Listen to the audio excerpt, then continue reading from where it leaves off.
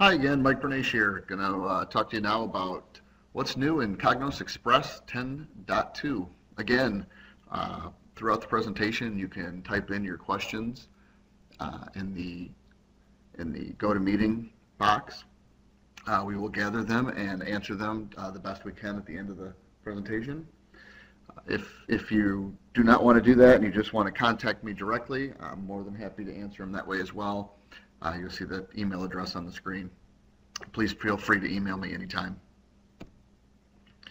So in this uh, presentation, we're going to cover a few different things. I'm going to first talk about what is Cognos Express. Some of you may have never heard of it. Some of you may, and you're just not sure what it is. And some of you actually might be using it. So we're going to just do a quick refresher on what the Express product is. We're going to talk about the uh, key update areas in this product, and they're going to be similar to uh, the 10.2.1 presentation um, with some, some additional stuff. Uh, visual enhancements, again, we're going to talk, go through the Rave engine and the visualizations for active reports. Uh, mobile uh, has some upgrades. Uh, there's actually now scorecarding in Express, and I'll talk to you a little bit more about that. Uh, then go through some additional enhancements and improvements. And the last item is uh, a licensing structure on Express that makes a whole lot more sense. It was a little complex before, and, and they've simplified it to, uh, to make it a little bit easier. So what's Cognos Express? So back in 09, uh, it was released as a uh, mid to small market end-to-end solution that featured reporting, analysis, and planning. So it really was Cognos BI and TM1 wrapped up in its own little package. Okay, it was it, it was easy to use. It had some backup and restore capabilities built in. Um, it provided some light, lightweight uh, modeling. It had an embedded content store. There was some integrated security, which was which is different than the enterprise uh, solution. Uh, it had a very easy administration pan, uh, panel and it had a lot of auto configuration, so it was somewhat out of the box, could be installed pretty easily. Um, the main differences between Express and Enterprise are the number of users available. It's limited to 100, uh, the server size, and the uh, conformance. Um, and then some of the capabilities are a little bit different. Some things are included, some are not, uh, from Enterprise to Express. So this slide here will give you a layout of what Cognos Express really is. So you can see at the bottom, there are a couple different modeling tools, Framework Manager and Performance Modeler. Performance Modeler is on the TM1 side, Framework Manager would be on the BI side. Um, then it goes up through the Cognos Express server, and then you get into, it has a, a few main areas. There's Reporter, which includes Query Studio and Report Studio uh, and Business Insight Advanced. I believe now it's actually going to be titled uh, Workspace Advanced. There's Advisor, which is uh, Cognos Insight or Advisor Web. There's Perspective, which is the Microsoft Excel client for TM1. And then there's Planner, which would be the contributor piece of TM1. Okay, so it's uh, basically it's an all-in-one solution that featured all of the enterprise products kind of rolled into one for a small, small mid-market solution. So just go through kind of the user roles and the workflow and, and the associated UIs kind of with Express. Um, so the executive level, uh, actually let's start at the business analyst level. So the business analyst level is going to, uh, would use Performance Modeler or um, you know Framework Manager. Um, you can build the underlying model, okay? Um, it, it, can roll up into Insight. It can go up to a dashboard. Uh, you, can, you know, you can use the Insight workspace uh, area, the TM1 web, to to follow up or take actions, to do data analysis. Okay, the executive level is going to define the strategy, which is going to roll down to the manager or the analyst. So it, it gives you just a, an idea of how the flow works um, with Express and with the different user roles.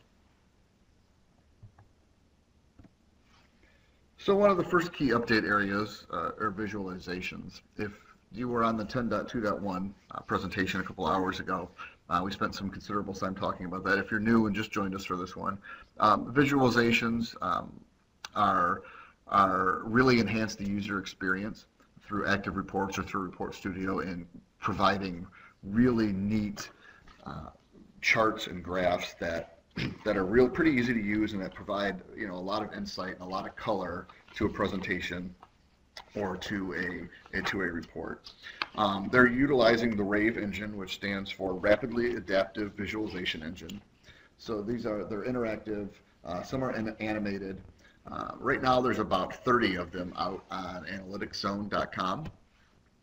And if you go out there, you can download them and bring them in to uh, Report Studio. You bring them through Admin Console. You bring them into Report Studio, and you can utilize them in uh, active reports or, or, just a normal report. And uh, what I'll do now is show you a little bit of that.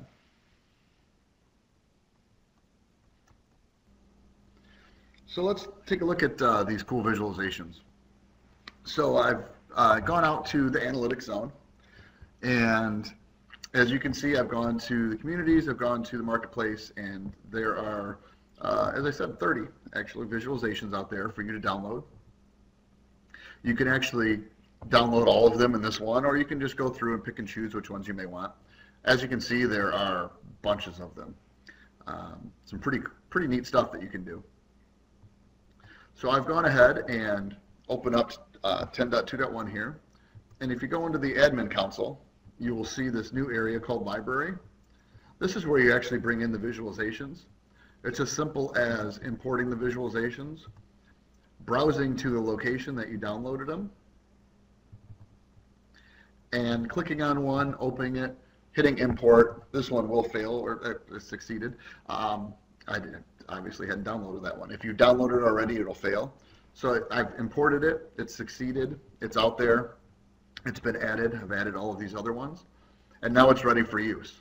So now you can actually go into Report Studio, and I'm going to, uh, I've created a few, and I'm going to open them up here and show you what we've got.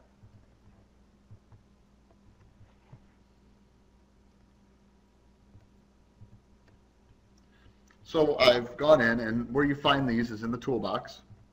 You'll go and see there's a visualization area. You simply grab it, and drag it in. Okay, so if I were to do that, it's going to bring up all the different ones that you've added. You click it, you hit OK, and now you'll have that in there. I've uh, gone ahead and added a uh, packed bubble chart in. I've added margin and revenue into it. I've added the product type and the product lines. Okay, and if I go ahead and run it, you'll see that I've Everything that I've added has come up. And it's, it's a really, really pretty neat chart. I'm going to go ahead and open one more. And this one is um, allows you to actually drill down into it a little bit. So as you can see, I've brought in the different uh, uh, products from the sample data. I brought in the year, and if I were to click on, I believe this is personal accessories, it will actually drill down and bring up everything under personal accessories, okay, and show you the different sizes. I believe I'm using revenue here. Um, obviously haven't formatted it or added a title or anything. I just did this quick just to show you how they work. You can actually click down more on it and it'll actually take you all the way down to the product line. Pretty cool. Um, so there's definitely, there's, there's some really neat things that you can do. Um, definitely something that you should check out. Um, again, those of you on 8, come on over to 10, enjoy the cool active reports and all the cool visualizations.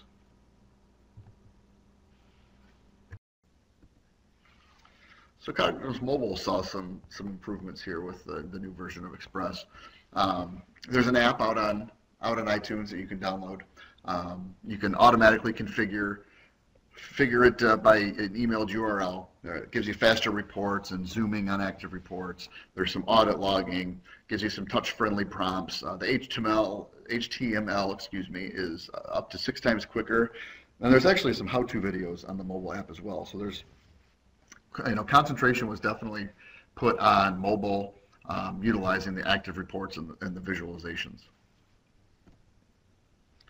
Also available is a uh, performance management mo uh, mobile advance. So the performance management is, there's a TM1 app that is available uh, for contributor, so where you can input uh, your information. You can track it, uh, annotate it, submit it, um, and then there's some interactive visualizations as well there. So you can actually be mobile and say you wanted to input your budget or whatever it might be. Um, there is an app for that, and it can be downloaded at uh, the iTunes Store. And and, and uh, so for those of you on uh, TM1 or even you know using Express, take a look at that and take advantage of it. So scorecarding, this is a pretty neat feature, and it's available in the uh, most recent release of TM1 uh, 10.2, um, which has also made it available here to Express. So there is a, a metrics, uh, a TM1 metrics modeling um, that you can actually uh,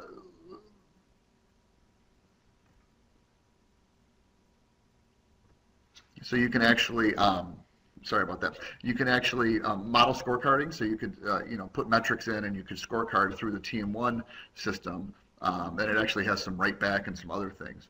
So it's a pretty neat feature that has just been added. Um, you know, you could use Metric Studio on the enterprise BI side, but there really was nothing in TM1 that allowed you to create metrics, and now you have some of the scorecarding uh, availability and, and can obviously utilize it in Cognos Workspace and, and uh, Cognos Insight. So some of the additional uh, enhancements. So there is a uh, TM1 run TI. So there's a command line interface tool that can initiate a turbo integrator process from within any application, uh, capable of issuing operating system commands. So you could create a um, you know, a command prompt, you could create a little bat file that would kick off a TM uh, turbo integrator process. Uh, there's DQA, which provides a graphical environment for which users can understand and analyze queries for further tuning and optimization. There's a, an operations console, so that replaces the TM1 top for monitoring and troubleshooting uh, the TM1 system services. And there's also now full support for uh, CDM, which is Cognos Disclosure Management, or SDK, uh, Software Development Kit, Cognos Controller, or Cognos Ex, uh, Analyst for Excel. So performance has, has improved greatly. Again, for those of you in the 10.2.1 presentation, uh, we went pretty in depth on performance. Um, mobile reports are faster. Uh, the opt uh, request optimization is, is pretty impressive. Uh, the response time is really neat. Active reports uses a better interactive uh, internal structure. They use a better memory consumption and better uh, compression, which makes the which makes the active reports smaller and use less memory, but a lot, lot quicker. Um, some of the report rendering is quicker. It removes some redundant calls and some unnecessary compression, improve the memory usage. Uh, bursting is, is allowing you to now optimi optimize um, a number of different hardware. So you could have a number of servers and burst from each of them. Uh, batch jobs run quicker based on better CPU utilization. Um, Dynamic query is quicker because there was a, an improved DMR first run performance and TM1 interactive analysis. And then the I.O. scalability has been improved because there's a lot less uh, activity on the disk.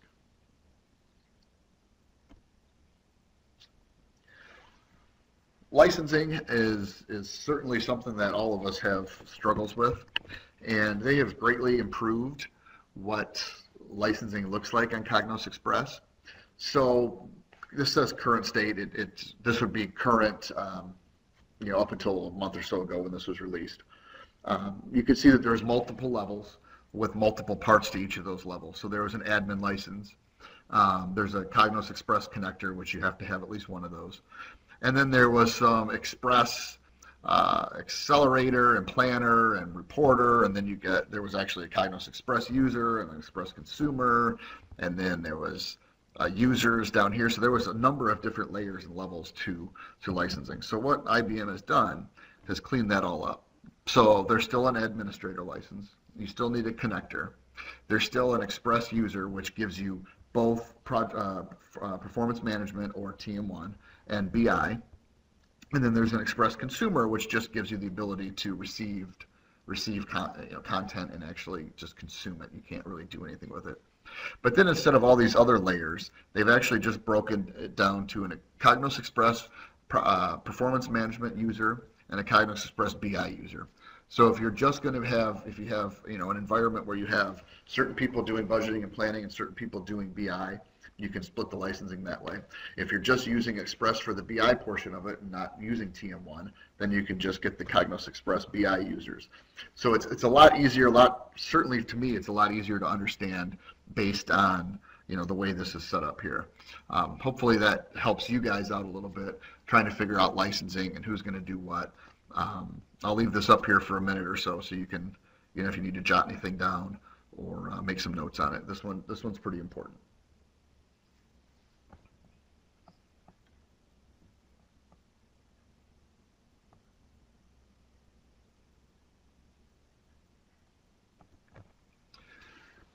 So again, I just want to tell you a little bit about us. Um, we're educators of business analytics. We can sell you things. We can come on site and build you things. We can do, you know, we can do all sorts of things that other partners do. But we we really pride ourselves on on being educators. We love to teach people. We love to train people. We love to bring self-service to to companies and to organizations. Um, we're offering a ton of different uh, webinars and videos and different workshops that um, that are even some of them are even software agnostic. They're they're not even talking about software. It's more about requirements gathering or executive coaching or things of that nature. Um, of course, we can still sell you software. We can still support you, and we can still help you. We, we love doing those things as well. But we really our goal is really to make you know to make this process in the end be self-service for you guys, and, and we love we love to teach. Um, you can see we're a certified woman-owned business. Heather Coles, our president and uh, owner of the company, and she's responsible as well for the sales uh, people in our organization, Ian and Corey. And then Bethany's on here. She's our services. Uh, she's our services coordinator. She's in charge of all services. Um, our website has been redone recently, so please, if you haven't had a chance, go take a look at it. Great website, ton of information. Check out our blogs. We have hundreds and hundreds and hundreds of blogs. Um, we're, we were charged with writing, you know, pretty much two or three blogs a week to put out there. So there's there's tons of information that you can check out. And at this point in time, we're going to uh, look to the questions and get you answers.